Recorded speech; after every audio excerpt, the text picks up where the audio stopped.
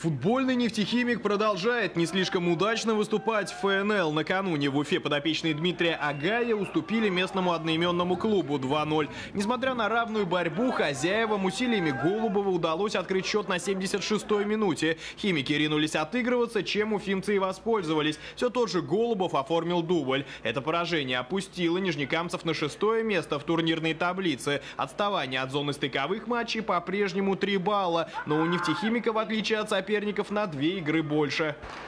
Хоккеисты Акбарса приступили к тренировкам в составе сборной России. Голкипер Константин Барулин, защитники Илья Никулин, Евгений Медведев, Константин Корнеев и нападающий Алексей Терещенко и Кирилл Петров под знаменами национальной команды будут готовиться к очередным матчам Еврочелленджа. Напомним, 19 и 20 апреля в Ставангере россияне сразятся с Норвегией.